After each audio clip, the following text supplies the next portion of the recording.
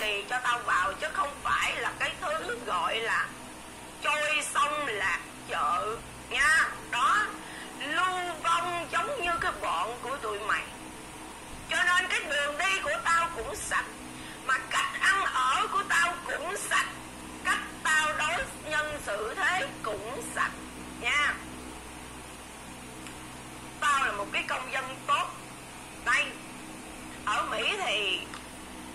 một người công dân không tốt, thì không có được bốc thăm, bỏ cái phiếu bốc thăm được mời đi lên trên hả là ngồi đó ở trên đó tòa án nha để thẩm phán lắng nghe đó cái sự góp ý của mình nha ở ngoài tòa nha mà ngồi trong cái buổi gọi là nha đó thẩm phán đó, tòa án cái buổi ở mỹ thì ai cũng biết cái này hết, đúng không?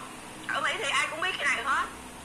Nếu mà tao đó, một công dân không sạch đó, nha, một người không đàng hoàng đó, thì không có tờ giấy này. Tụi mày biết mà, đây tao đã điền rồi. Tao đã điền cái form rồi. Và đó, khi tờ giấy gửi về tao điền rồi, cho nên là tao niêm phong lại, chuẩn bị gửi đi, nha. Còn cái sạch của tao thứ hai nè nếu ăn tiền trợ cấp của chính phủ Mỹ thì không bao giờ quay được tiền để mua nhà. Mày hiểu không? Có nghĩa là nhà băng income và đó, cái khóa địch mày có. Và mày, nếu ăn tiền của chính phủ, ăn tiền trợ cấp bút tem như lời của cái đám chó của tụi mày nói đó, thì sẽ không quay được